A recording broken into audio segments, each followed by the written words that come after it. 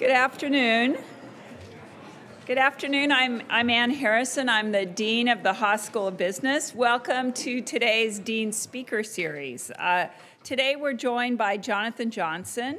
He's the president of Medici Ventures, which is a wholly owned subsidiary of Overstock.com that was founded in 2014 to apply blockchain technologies to existing industries. Jonathan joined Overstock in 2002 as the company's general counsel, and he's been an integral part of the company's rapid growth from a small startup to a publicly traded company. He's served in a variety of leadership positions, including five years as the company's president and chairman of the board of directors. We're very lucky to have him here today. In his current role at Medici Ventures, he's really questioning the status quo He's building a portfolio of companies that are leading the introduction of blockchain technologies in industries such as capital markets, money and banking, identity, property, voting, and supply chain. He'll also tell you about some of his ventures in emerging markets, which are very exciting. I just was hearing about those. He also has experience in the public sector. He ran for governor of Utah in 2016. There's no question that he says he can't answer. Um, so also joining us is, is Holly Schroth. She's a senior lecturer and distinguished teaching fellow here at Haas, and she'll be leading today's conversation. She'll be asking some of those questions. Holly's been a member of the Haas faculty since 1992. Uh, she teaches courses in negotiations and conflict resolution and organizational behavior. She's an award-winning teacher here at Haas. She's, she's won the Cheit Award twice in 2009 and most recently in 2018. And it was through Holly's course, Leading People, that our evening and weekend MBA student, Ted Tobacco, where Ted, where are you? Say hello to everyone. He um, is through him that Holly learned about uh, Jonathan Johnson, um, and uh, we su suggested that he come to Haas for the Dean's Speaker Series. So we have Ted to thank for helping us to get Jonathan here today. We're really excited. Um, and we really appreciate student suggestions. So students, you should take that as an example. Uh, if you have brilliant suggestions for people to come and, and speak here, um, please bring them to us. So without further ado, please join me in welcoming uh, Jonathan Johnson and Holly Schroth.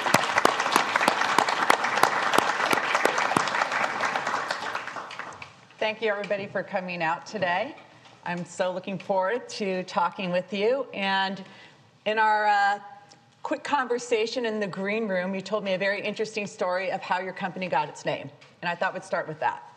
So, Medici Ventures uh, is involved in blockchain technology. The Medici family of ancient Florence is said to have introduced double bookkeeping accounting to the West and that's how they became bankers and wealthy and great patrons of the arts. Blockchain technology is really a distributed ledger, multiple entry bookkeeping, so to speak. So, in a nod to the Medici family and all that they did, we picked our name for our blockchain company to be Medici Ventures. Very good. So, I'd like you to give us a little bit of background of your path to your role right now today. Well, my path is untraditional, and I've and I've found that most people, uh, when they're young, figure that the path to success is straight and planned. Mine was not straight, uh, nor was it planned. Uh, I started uh, as a lawyer. I often say I'm a recovering lawyer, about nine years clean. Uh, but I will say I do fall off the wagon now and again. I, I practiced law for big law firms in the Los Angeles area. I joined a software company uh, in the late 90s uh, as their general counsel, became their CFO. That company expanded and contracted uh, in the internet bust. Uh, then joined Overstock about 17 years ago as its legal department of one. Uh, was very excited when they asked me to take on a non-legal role, wear more of a business hat. Became the president, helped the company become profitable, grow from a small startup to a big company. I then took a two, couple of years off to do what was maybe the most expensive and most fruitless midlife crisis and ran for governor uh, and lost. My wife has said, next time, let's just buy an expensive sports car. um, but the good news was, uh, when I had been serving on the Overstock board, and when after the election defeat, uh, the board asked me to come back and work on what was then kind of a nascent blockchain business that had wrapped itself around the axles, didn't really have leadership, and they said, please come in. You helped us as a startup at Overstock, help us nurture these startups. And in the three years since then, we've now have 19 companies in our portfolio uh, doing things as diverse as blockchain voting to land titling capital markets, supply chain, all kinds of things. It has been a wonderful ride. But the thing that I would say has made it most interesting is that there is always something new to learn. And when I when people ask me, what should I be focused on as a student? My response is always learn how to learn and learn to love to learn. Because the job that you will have 20 years from now is likely a job that does not exist today. When I was a law student, e commerce wasn't a thing. And I grew up to run an e commerce company. When I was the president, first the president of Overstock, blockchain wasn't a thing. Now I'm helping blockchain companies get out of the nest and fly. What you're going to be doing in 20 or 30 years most likely isn't a thing. But if you're ready to learn and you learn to love to learn, you will be successful no matter what the thing is that you become. We were talking about failure earlier, and you had a really interesting perspective on failure. Can you share that with the group? Well, I think failure is to be expected. Uh, and if we don't embrace failure, we won't embrace innovation, we won't embrace change. And a couple places that failure works into our culture is one, with our executive team. We meet every Monday morning, and every member of the executive team has a series of projects that they've committed to complete. Maybe a weekly project or a six month project, it may be a long term project. When that project comes up on our checklist for the executive to report on, we have two appropriate answers that the executive can start his or her report with. The first is the project is complete. Then we talk about what it is and how it got completed and what we do next. But the second appropriate answer, and I say appropriate because it is appropriate, is I have failed. Now, most people that are on an executive team are going to do everything they can to never have to say, I have failed. And what we found is having that reporting structure does several things. One is it encourages people to take ownership of the project because they are the captain. It used to be that when we would say, What's the status of the project? Stuck in legal. I'm waiting for accounting to tell me how to do it. Marketing's got to do something, where there's a lot of finger pointing. We didn't like that. We wanted someone to own the project. The other thing is when they someone reports, I have failed, they don't get fired, they don't get reprimanded. The questions are then two. When do you think you can complete this? We'll put it on the agenda again. And what can we as an executive team to do to help you complete this? And that's when they say, you know, I could really use some help from legal or from marketing or from IT. Um, and so that perspective, uh, we try and encourage people to be aggressive and get things done, but if they fail, they're not punished. And case in point, for 16 years, I've had a project at Overstock.com to get a certain URL that we want to use. For 16 years at different intervals, I have stood up in our executive meeting or our board meetings and said, I have failed. We don't have it yet. We are oh so close right now. I can't wait to say project complete. But every time I say that, I think it sets an example to others in the team to say it's okay to fail as long as you're really trying to get things done. Can you uh, describe your leadership style? So, uh, a couple things I would say about how I try and lead is one, to be really transparent and open and elicit feedback. And so, at a company wide level, that means providing monthly financials that we go over as an entire company at Medici Ventures. We see where we've performed fa- favorable to plan and unfavorable to plan. When I give a report every quarter to the Overstock and the Medici boards, I give the exact same report to all of our employees, uh, unredacted, same report. Uh, when I, when, when the company decided to come up with values, when I started at Medici three years ago, we involved every employee. The management team put something together, we ran it past our board, and then we spent three separate days, about four hours a day, with every employee in the room, going over sentence by sentence what our vision and what our corporate culture would be. And I will tell you, where we came out at the end was different than where we started. It was better than where we started, and everyone had bought into it from where we started. So it wasn't Jonathan's corporate culture, wasn't the board's corporate culture, it was Medici Ventures corporate culture. That kind of transparency is really, really important. The second thing I would say as part of my management style is giving broad latitude to the people that report to me.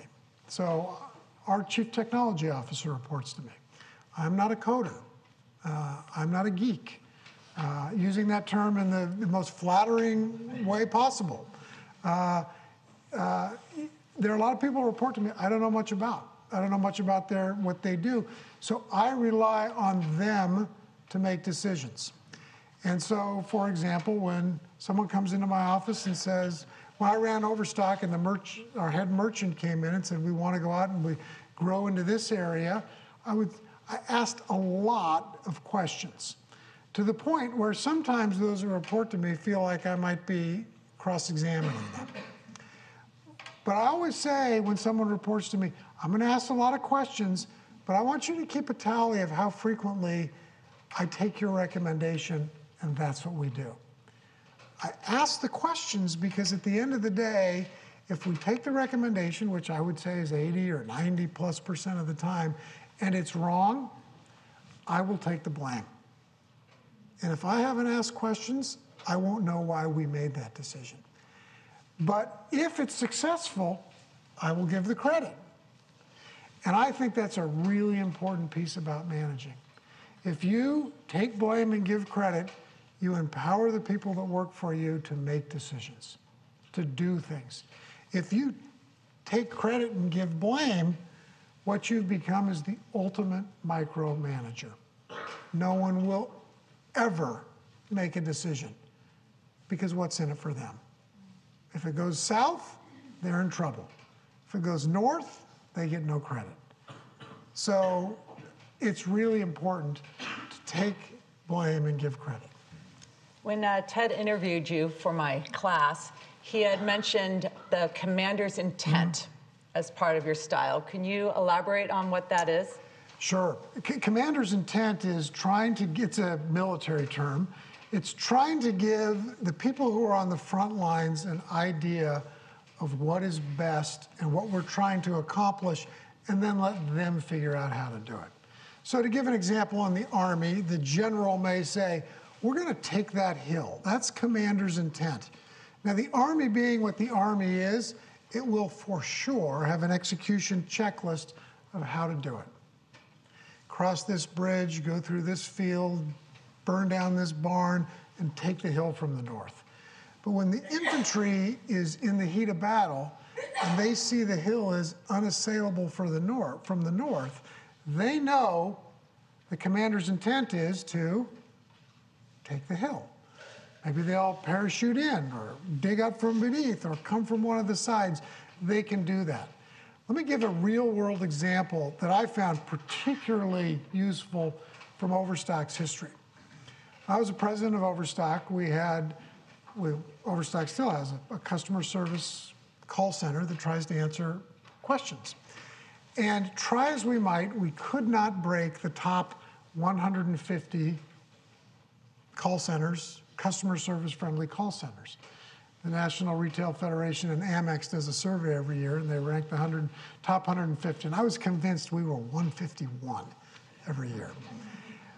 We went and we looked, and there was a set of procedures in customer service like this. All these things that the agents had to follow.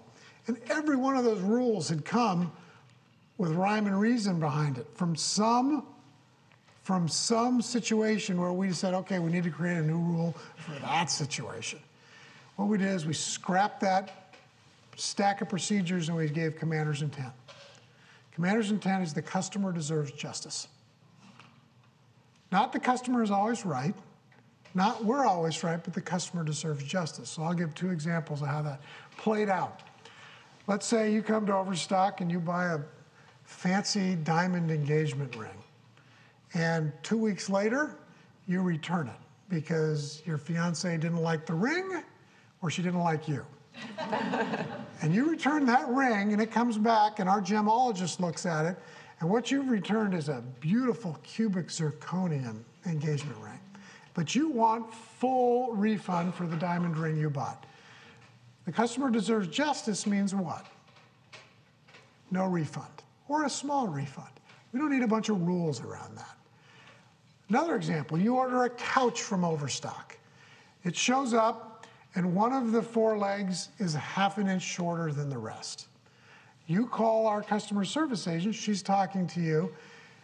She may be able to tell you are frustrated beyond belief and the best thing we can do is give you full refund and have you and pay for to have the couch sent back to us. She may say, that doesn't work. I have something this weekend I need this couch. And you may say, well, we can overnight a leg to you. And you can screw it in and screw it off, and we'll give you a $50 discount. She may love that. Or the customer service agent may say, you know what, that skirt, that skirt, uh, that couch has a skirt on it. What if we gave you a $300 discount on it and you just put a book underneath it? Do you know which one a lot of of those solutions Overstock customers like the best? The 300? The book. Yeah, the $300. Only by giving the commander's intent to the frontline person to say the customer deserves justice can we figure out what makes the person most happy. We put that simple rule in place. The next year we showed up as number four on the customer service list. And we stayed in the top five until NRF stopped doing that. Commander's intent means let people on the front line know the goal and let them achieve it the way they think is best. So that seems to also apply to motivation. And how do you motivate your employees? Well, it's changed over the years. Uh, I sound like an old man when I say that. Uh, I don't feel like an old man, but I realize I've been doing this for a long time. Today, I think what motivates employees is one, give, empower them to make decisions, which Commander's intent does. Two, uh, let them make decisions, which I think my questioning style does, and giving credit and taking blame does. And three, I think being really transparent so that they feel like they have a say in what's going on. When we go over our monthly financials in Medici Ventures, and I can say, here's where we did against plan versus revenue, here's where we did against plan versus expenses, here's what it means to the accrued bonus. People really start caring about expenses. Wait a second. Our expenses were off by this much, and it meant we didn't accrue a bonus or we accrued a smaller bonus. We can take care of that. And so instead of punishing people, people say, I can fix that myself. I think that kind of empowerment is really important to, to motivating people. Do you see any differences with the new generation of employees versus the older generation of employees? Bo- Boy, uh, I do, and I, Holly and I were talking uh, before we came out here about an article that was in uh, the Wall Street Journal just yesterday about Generation Z employees expecting to be um, promoted each year and wanting to have a checklist of things to do. Uh, but I think checklists are tough. Uh, and I think checklists make it hard for you to succeed as an employee. Because if all you do is what you're told to do, uh, then we have to have an execution checklist all the way to the top of the hill to take the hill. There's no commander's intent. Um, we have a story we like to tell uh, at Overstock and at Medici about an old adage uh, a newlywed calls her mother, she's going to make a ham for Easter Sunday. And she says, Mom, you make the best ham. Tell me the, res- the recipe. And she says, Well, the first thing you do is you cut off both ends of the ham. And she goes, Well, why do we cut off both ends of the ham? She says, I don't know. Let's call your grandmother. They call the grandmother. Well, the first thing you do is you cut off both ends of the ham. Why do we do that? I don't know. Let's call your great grandmother. They call the great grandmother. Why do we cut off both ends of the ham? And she says, Well, it's because when I first moved into the house, we had a really small oven and I couldn't fit a ham in unless we cut both ends off. If people don't think for themselves, if all they're good is executing on checklists, it's like cutting off both ends of the ham. We have bigger ovens today. We have a different world we live in. I don't know how to solve so many of the problems I'm asking my employees to solve. I want them to figure it out. That's really important. And I think we're losing a little bit of that uh, with Gen Z. And I don't want to sound like an old man and say, in the old days we used to. but I do think as you enter the workforce, solve, being a problem solver will help you climb a ladder faster than executing a series of checklists will ever do. So, your company has a very strong culture. How do you transmit that to new employees, and how do you select employees to make sure they actually will fit into your culture?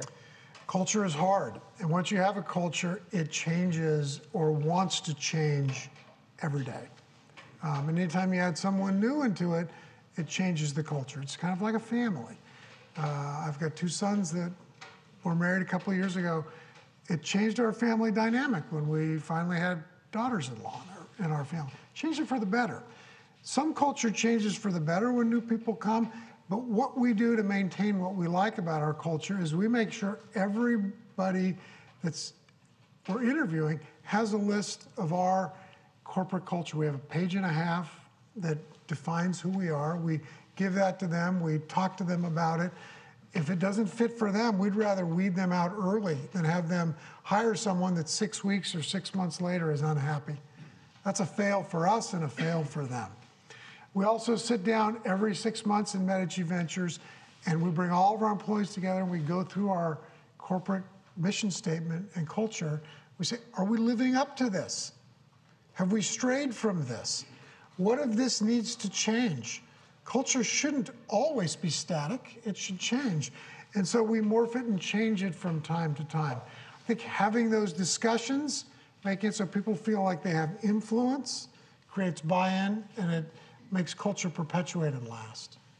So you're going into emerging markets. Yeah. How does uh, how do your how does your company build relationships with these uh, different uh, cultures, and how do you work uh, effectively with them?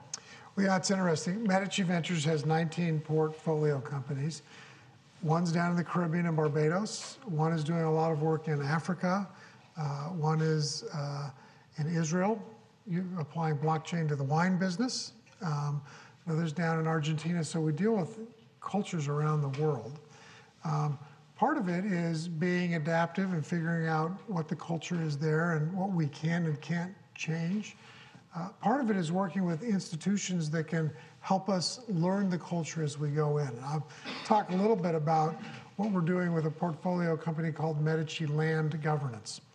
Much of the developing world doesn't have legally recognized land titling, which is a hard thing for us to fathom here because if you bought a house, you would go down to the county recorder, they would say, where the meets and bounds are, who owns it, what liens are on it, what bank liens you have to get rid of for you to own it.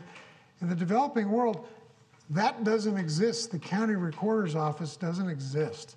Might be a tribal chieftain or a co op, or it could be scrawled on a hide of a, of a dead cow. I mean, it can be, it can be any of these ways. What we're trying to do is put land title registered on the blockchain so it becomes a legal title that people can prove. To get that done, we have to work with governments to convince them that's a good idea. We found that working with the World Bank, I know the Dean used to work with the World Bank, working with the World Bank has been a great entree and allowed us to get in there. So finding institutions that are familiar with the local culture is really important, having them introduce us. We certainly don't want to be you know, the big bad capitalist from the West that says this is how you have to do it, but find ways where they find it in their best interests to get it done so it will help their population unleash dead capital, land, so that they can borrow against it, sell it, demise it, do whatever they want to do with it to start businesses. So that's one of the ways we've been working on it. So we were talking about negotiation skills a bit, and you told me a really interesting story of when you were working in Japan. That I would love for you to share with them. So when I was a still wet behind the ears attorney, uh, I had a lot of clients that were Japanese companies, and I'd been practicing about a year when one company, Bandai, which is the largest toy company in Japan, and at that time their most successful property was Power Rangers. Uh, I was I always told my young son that when you want to know what I did at work, and I said when the Power Rangers can't win their fights, they come to your dad. Uh, he told his preschool teacher that one day, and she called my wife saying, "Your son is saying some crazy stuff." Uh, but I was representing the Power Rangers, and they were the big 800 pound gorilla in this negotiation with a small company that wanted to put Power Rangers on t-shirts and underwear for little kids, kind of like the Underoos model. And I went to Bandai and I said, what are the things that we want to get in this negotiation? There was a list of about 10. So I went, negotiated with the other side all by myself, felt very proud, and I won all 10 points. And I felt really happy. Came back to the client and said, hey, here's the contract, it's all ready to sign, here's what we got. And the client looked at me crestfallen and said, this contract's no good. I said, wait a second, you wanted 10 things, I got 10 things. He said, the problem with this contract is it's too one sided. We win, they lose. And in a year, they'll be out of business and we'll be looking for someone else to put the red, the yellow, and the green Power Ranger on underwear. Go back and negotiate a fair contract. So I Went back to my office, called opposing counsel. I go, I'm sorry, the client won't accept this contract. They said, wait a second, we gave you everything. And I said, I know. I'm here to give some of it back. There have to be ways in business to create win win situations. Litigation may be win lose, but business is win win. And if you can find out what's important to the party across the table from you and help them win while you too win, then you've got a business relationship that won't last a year, but can last a long, long time. So in negotiations, I want to know what it is that makes you win so I can figure out how you can win while I win. Your business is rapidly changing. Mm. You have a really strong culture. How do you initiate change and implement it and maybe negotiate new positions within your company? Well, we are growing, and anytime you're in a growing group, I think part of what you have to do to initiate change is let people that are doing things know that they're doing too much. And we need someone else to do part of what they're doing. Some people embrace that. They're like, oh, I can do, I can focus on what I want to do. But a lot of people think that if you take something away from them, they've failed. And or they're being demoted. But as companies grow, people that were great at the beginning don't always stay great at the next level. And so I think you need to be brutally honest with people and say, and it's really hard, particularly when you're a startup and you're blood, sweat, and tears together, and you outgrow someone, to find a place that fits for them or to sometimes have to say, Bob, we've outgrown you. Uh, bringing in new people, I think, helps bolster Bob before you have to let him go, helps him find something new. Uh, but you gotta, I think you have to recognize who's being outgrown and try and help them find a place that fits before they don't fit anymore. We have a lot of students with startups, and I was just talking about that in my class today. What advice do you have for people who are doing startup companies? That you, When, when Medici looks at different startups to invest in, and we've chose to invest in 19, and we probably look at 10 a week, we look for three things in a startup. Uh, we look for people who have industry expertise. You may have come up with a great idea about how to change voting, but not know that county clerks are over the voting system, or not know anything about that. You've got to have somebody that has industry expertise. We look for people that have great technologists. We're, soft, we're investing in software companies, so great technologists are important. And then we look for someone that I call the huckster. Who can sell? Who can sell? Ultimately, if you've got a product that you can't get someone to buy, doesn't solve a problem, and it doesn't meet a market price, it doesn't work. So that's what we look for. Layered above that is the character of the people. At the end of the day, and we're mostly seed and Series A investors, these are startups that don't yet have great balance sheets, don't yet have a product in production. We're betting on people, and character is king.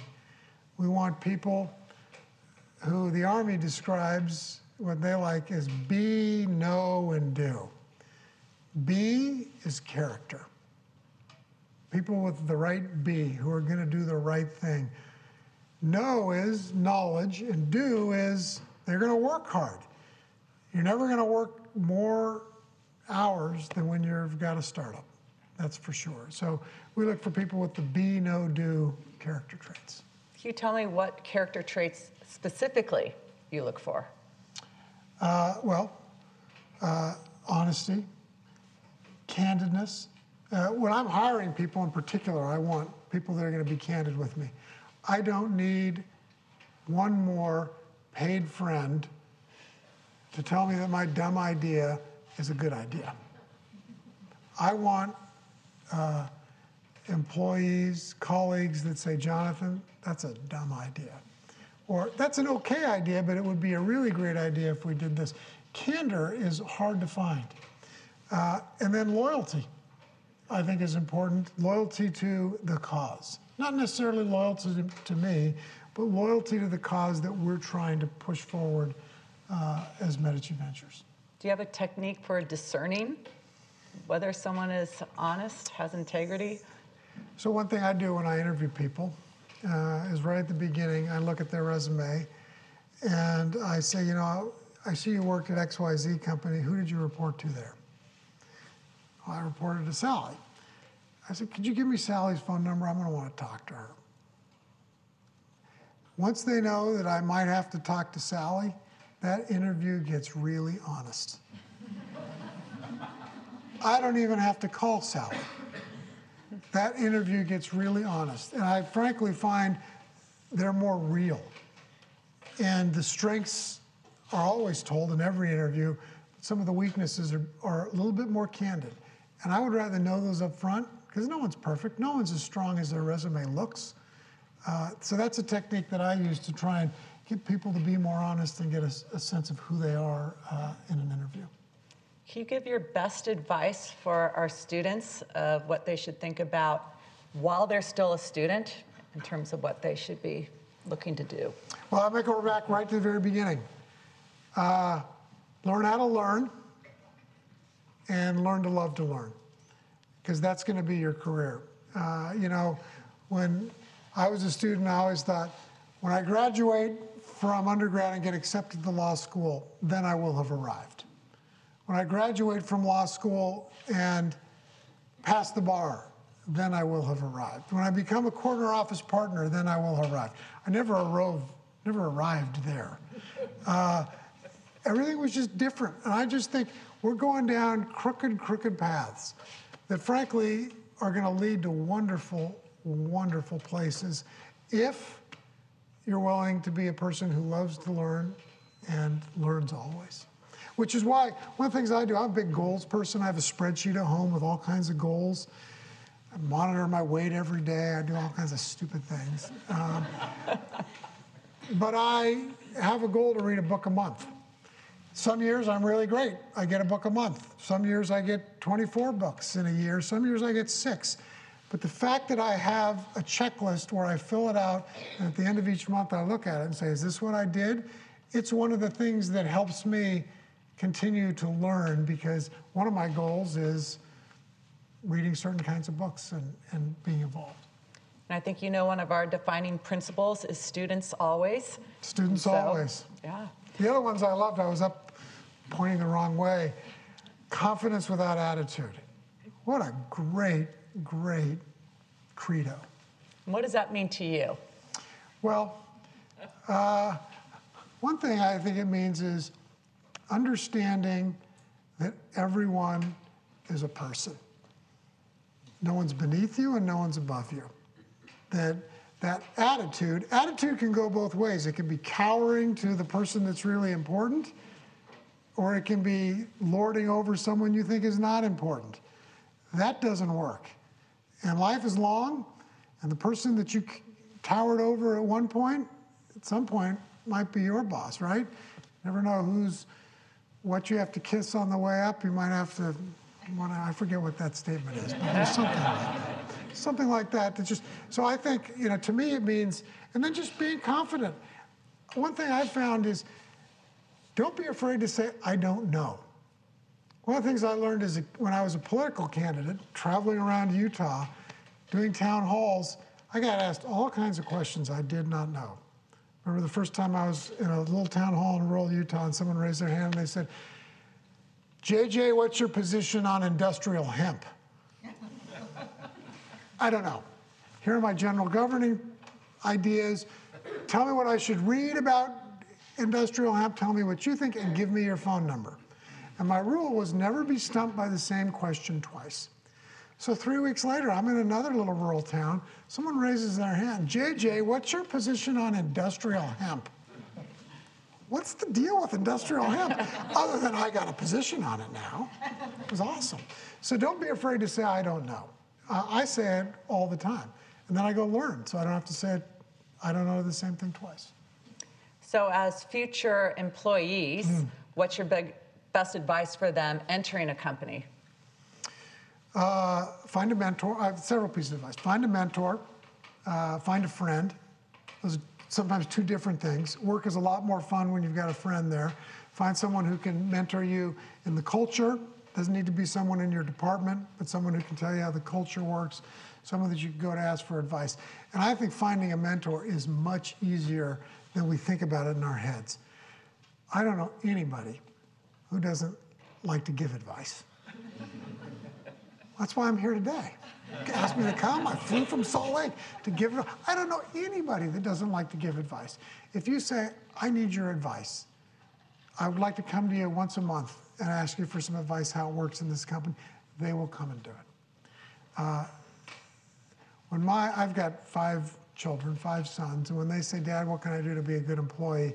I always tell them this make your boss's life easier. If you make your boss's life easier, you are going to nonstop rocket to the top. That's what I say. Uh, that doesn't mean don't find problems. It means find problems, report them early, but try and have a solution I love hearing about problems as soon as someone knows about it. I don't want it festering and getting worse, but I love it when someone who's found a problem says, Hey, I found this problem. Here's two or three ways we could solve it. I think we ought to use way C. That makes my life easy. You make your boss's life easy, you have a great, great career. Some of my leading people students think I paid you to say that because no. I see them nodding their heads because I said it in class, but it sounds so much better when it comes from you than it does from me. My kids don't take any of my advice, but when my friends give them that advice, hey, that's great advice. What's this? What am I? So my last question is for our students who are going to now lead a company, manage others. What is your best advice for them? Uh, managing others, managing is hard, and managing you grow into places. Uh, let me let me give this advice. My first management job was at a company where I had been a non-manager and had lunch with all the non-managers and bragged about the company like all employees do. And then I became a manager, and it felt lonely because I couldn't go to lunch with those same. I could go to lunch, but the discussion was different. I couldn't be part of the griping, um, and I had to be part of the solution. So as you grow up in a company to a management job, you lose some of your camaraderie. And I like to think of the Shakespeare play Henry V. Henry V, prior to that play, the previous play is Prince Hal. Prince Hal hangs out, he's like a ne'er-do-well prince, hangs out in the bar with Falstaff and have fun, they goofballs, and that's what they do. But he becomes King Henry, and they're about to fight the French at Agincourt, he has to take on a totally different persona. And how he deals with Falstaff, his old drinking buddy, shows the troops who he is and is their leader. Sometimes you have to step up and relationships get a little different. And that's hard because we want to be everyone's friend. But managers have to remember they're there to do the company's work and make the company work better. So that's, that's part of it. As you're starting your own company, uh, hire good people. Hire people that are smarter than you. Hire people that ultimately are going to do things better than you do. They probably won't do what you can do on day one as well as you can do on day one, but you hope by day 90 they can do it better than you so you can focus on different things. And it's really hard starting a company to let go of things. You feel like you're losing control. What you're really doing is empowering your company to be much better and much stronger. Are there any parting words of wisdom that you haven't already uh, given us? Oh, I stumped you. It's a weird question. That's all I got. Uh, uh, I am sorry we didn't ask questions. I meant to. Uh, we're going to ask questions. Okay. I just. Well, well let me tell you this about ask. I love it when we ask questions because I learned as a candidate when I stood in front of a room that when I was giving my stump speech, I was only guaranteed that one person in the room cared what I was saying. But if I answered a question, all of a sudden I doubled the number of people who cared about what I was saying. So I do think listening to people is a really important part of, of managing because uh, you'll get ideas. And I think a lot of people, when they get in charge, talk too much and don't listen enough. So I hope we have time for questions and we yes, can answer do. questions. I only have one request on questions. Oh, yes. Okay. So one request is use the microphones. Two is tell me your name. Yes, I let's like take questions. And nothing is off limits. And I may say I don't know. tell me about it, about industrial hemp. I'll figure it out. ah, first question. All right, not a hemp question. Uh, my name is Christian. I'm a second year MBA student here at Haas. I'm part of blockchain at Berkeley. Uh, so if it's okay, I'd like to ask a blockchain question that you Please. might be particularly well suited to answer, uh, like given your lawyerly background and your position at Medici. So um, the SEC re- recently issued its ruling about uh, initial coin offerings. They said they like issued the no action letter to a couple of places. Um, and the, the broad theme is that now there are kind of real rules about what you can and can't do in the blockchain space to abstract it off a level. Um, you wrote an article for TechCrunch that said that one of the things that you think should be done in the blockchain space is kind of to deregulate, to not have a lot of regulation, to not prevent people from uh, innovating in new ways. So I just wanted to ask you, number one, like given this new ruling, how are you going to respond? How are your portfolio companies going to respond? Um, but two, if we do want to kind of build the credibility of blockchain and maybe have it be a little more high integrity, uh, kind of with the conversation we were talking about before, um, do you think that regulations could help in kind of regulating some of the more bad behavior that's happened in the blockchain space so far? Christian, great question. Thank you. boy, I'd have someone read something you said in TechCrunch. Now I feel like I'm on the spot, but be good. well, well researched question. Um, I think some regulation is important. Where the SEC was before the recent guidance that they gave made it hard for people that wanted to obey the law to know where the lines were. And regulating through enforcement is unfair. If we didn't have speed limit signs and you didn't know what the speed limit was until you got pulled over and got a ticket, that's regulating through enforcement. We got to put some signs up. So I like regulation that gives clarity so that people that want to obey the rules can obey the rules. I think pre this set of SEC rules, there was no clarity, and people were flagrantly speeding when there was no sign at all, right? It was just a joke. Um, I like what the SEC's done. I think it's only at the beginning. And what they've done is they've said, I'm going to use an analogy. The big question when people issue secured or initial coin offerings, give a token to raise money for their business, is whether that coin is a security or not. And the analogy that people have used in the past, I think, is pretty good. Is if I have an arcade and I'm raising money to start an arcade, and I haven't built it yet, and I'm you're giving me money for that, that's clearly a security. If I have an arcade and I'm raising money and giving you tokens so that you can play video games in the arcade, Pac Man and Asteroids, and I've dated myself, and those games exist, that's not a security. If I'm raising money and give you a coin because I'm going to build the next versions of the video games we're going to play in there, that is a security. All of that was clear under the securities laws, but unclear for folks issuing coins or initial coin offerings. I think what the SEC basically said is same as it ever was. If you have video games that are already existing and we're giving you something that plays in that system, you can use in that system, it's not a security. I think that was good guidance. I don't think it's particularly new guidance. I'd like to see a little bit more. Um, I'm generally a less regulation than more is better guy, but I think no regulation leads to uncertainty for business, so we need some regulation. Christian, does that address your question? Yes, thank you. Yeah, good question. It's a detailed question. Other questions? He'll ask, he'll take any question.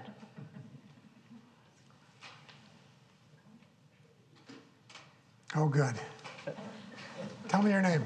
Hi, uh, my name is Neha. I'm a first, uh, first year MBA here.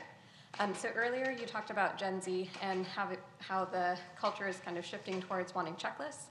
Um, that's something that I struggled a lot with at my old company. We, um, as a, especially some of us who are younger managers, struggled with finding ways to coach our younger employees to develop more independent thinking instead of relying on checklists. Um, so I'd love to hear any strategies you have personally found to work that encourage more independent thinking from uh, some of your more junior employees. So, uh, hard question. Thank you for asking it. And it's hard because I'm still figuring it out. Uh, but I think part of that is giving people projects and asking them to figure out how to do something. And part of what I mentioned how I like to manage the people I have my direct reports and have one on ones with them is I want them to come with their list of things they want to talk about. This isn't my meeting, it's their meeting. I may have some things after they've finished talking. When they have a problem that they're addressing or want advice on, I always ask for their recommendation first. A lot of times I know the answer. I know what I would do. I've dealt with it before. I'm ready to go. But I want to hear what they have to say. And if it's better than what I was thinking, we go with it. If it's close enough to what I was thinking, I'll generally go with it because I want them to see that their decision is a good decision. I don't want to dictate to them all the time.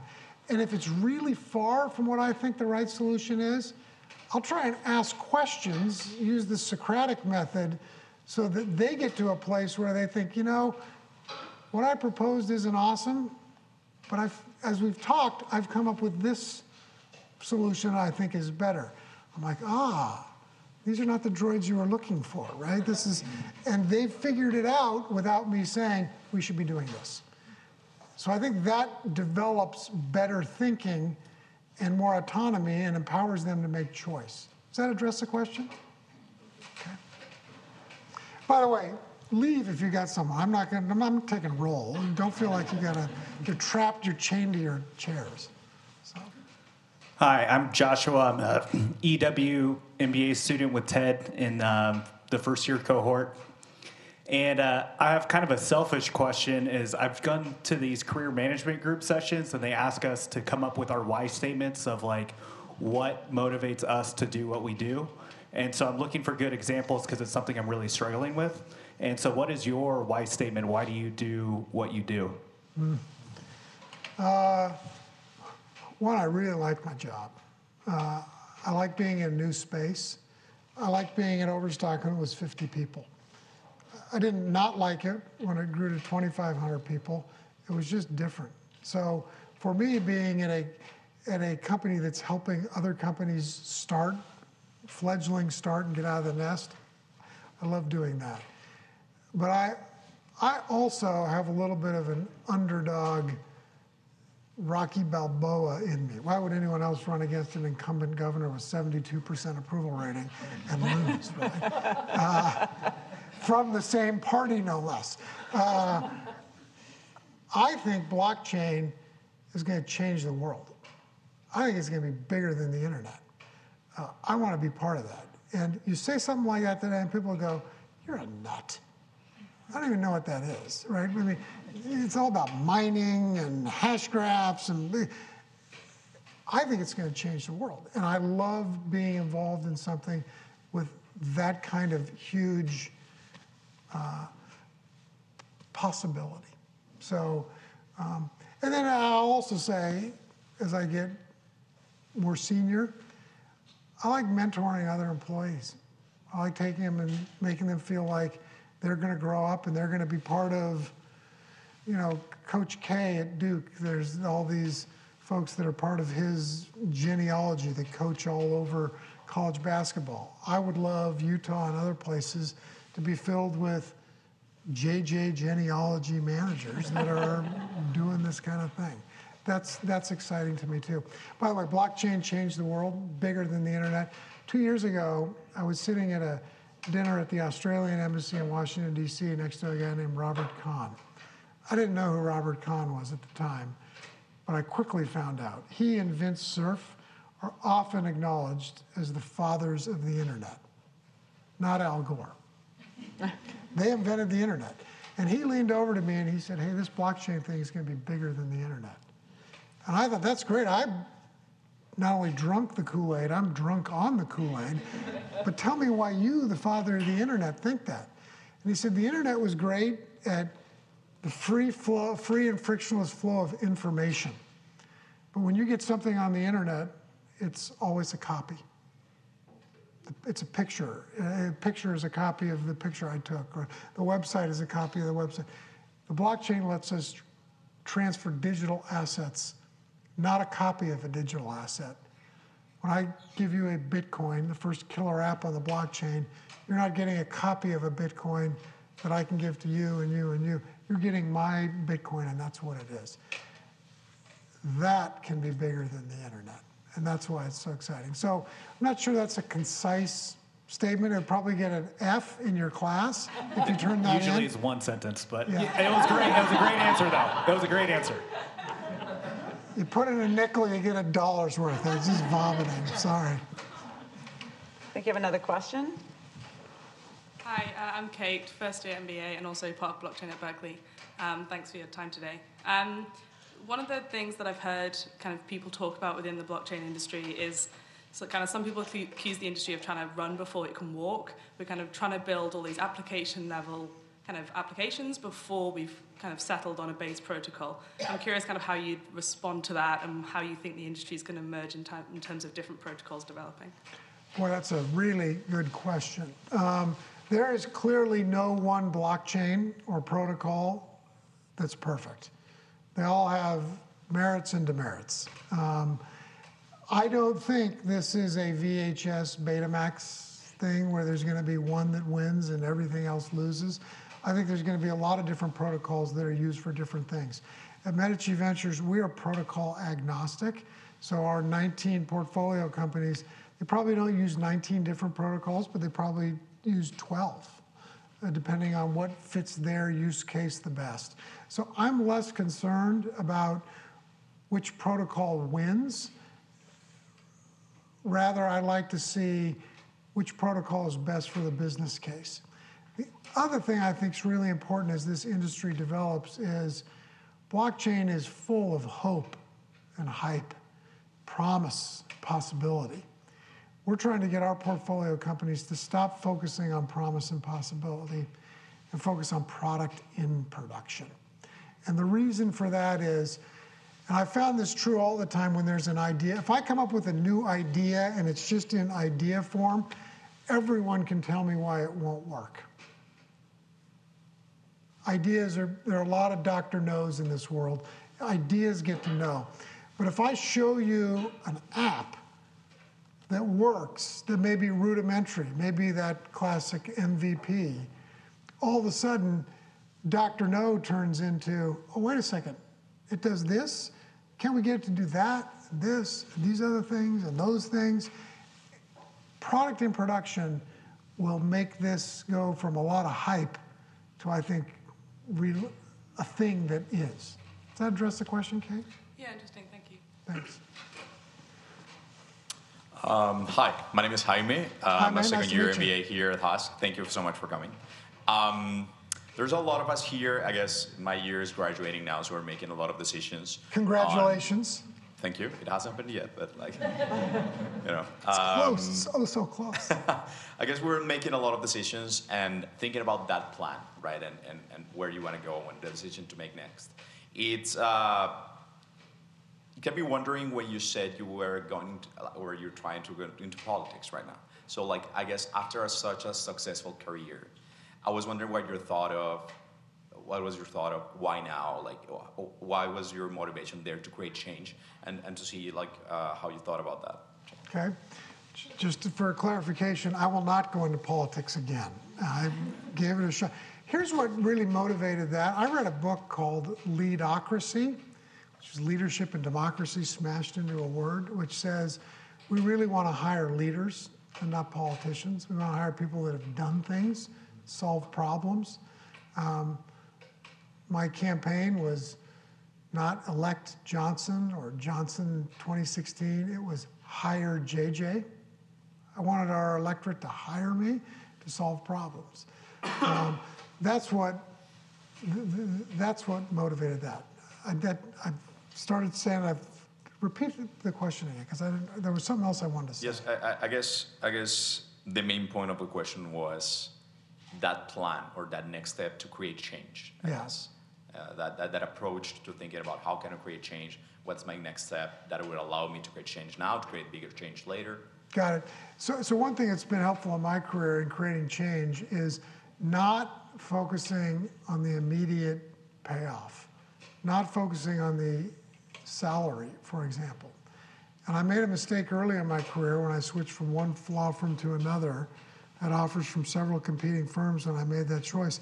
And I chose, made my decision based solely on money. And that turned out to be the biggest mistake of my professional career.